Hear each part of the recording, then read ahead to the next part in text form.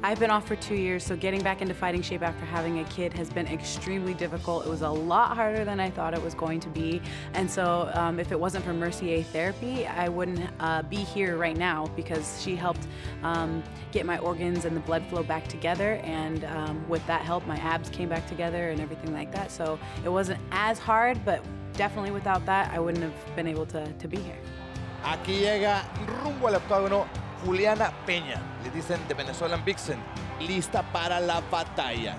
The motivation changes a little bit now that I'm a mom because I now literally have someone trying to take food out of my kid's mouth. And so that um, will to push forward um, by any means necessary is always pounding in the back of my head because I have a little one that I have to feed. So it's definitely a bigger driving motivation for me. I had my kid, fighting is still here, and now I'm ready to get back in there and uh, remind everybody who the Venezuelan Vixen is.